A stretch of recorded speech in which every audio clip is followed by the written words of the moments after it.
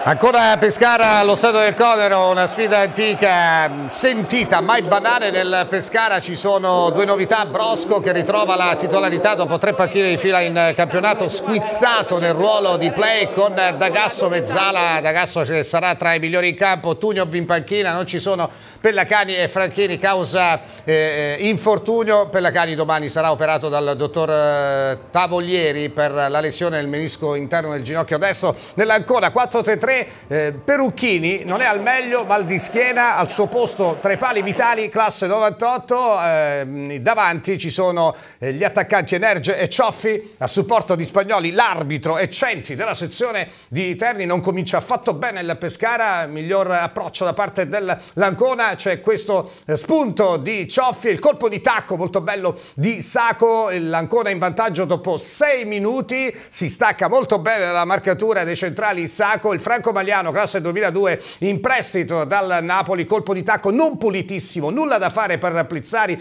bello lo spunto però di Cioffi eh, che riesce a superare in dribbling con un doppio passo il suo dirimpettaio Floriani che farà fatica nel primo tempo. E poi il pareggio al diciottesimo, chiaro l'infortunio del portiere Vitali sulla stoccata di Cangiano, un tiro centrale, insomma eh, la complicità da parte dell'estremo difensore dell'Ancona Vitali che sostituisce eh, Perucchini è piuttosto evidente, rivediamo il tiro, il quarto gol in campionato per Cangiano, classe 2001 in prestito dal Bologna, cresciuto nella Roma. Poi ventunesimo minuto viene fermato Cuppone in eh, posizione di offside su un bel lancio eh, da, dalle retrovie, o meglio da parte di Squizzato e poi eh, vediamo qui l'occasione per i biancazzurri con il eh, sinistro di Merola, la deviazione di Paolucci, la palla che sfiora la traversa, l'arbitro non concederà il calcio d'angolo. 27esimo, il tentativo di testa di Sacco con la palla che termina distante dal palo sinistro della porta difesa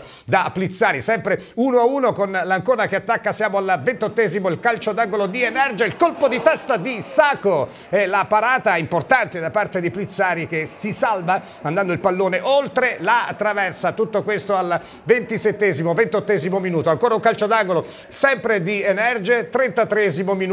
eh, palla che viene allargata per eh, Paolucci e c'è un intervento qui decisivo ancora eh, di Plizzari sulla stoccata di Lorenzo Paolucci, ex giocatore del Pescara abruzzese di Tollo, poi ci prova eh, da ehm, calcio piazzato, calcio franco lo stesso Merola, la palla viene respinta dal portiere avversario, siamo nel eh, secondo tempo, comincia, sembra cominciare meglio ancora con questa insidia, siamo al 47esimo, il tentativo ancora su calcio d'angolo, poi il colpo di testa eh, di Sacco ma in posizione evidente di fuorigioco, dunque gol eh, annullato, eh, c'è stata anche la segnalazione del guardaline, dell'assistente del direttore di gara Centi di Terni, poi una conclusione da parte dei biancazzurri ad opera di Cuppone, la palla viene bloccata facilmente dal portiere dell'Ancona Vitali e poi su cross di Floriani la volée di Merola, la deviazione di Vitali, la palla sulla traversa, il Pescara ad un passo dall'1 a 2,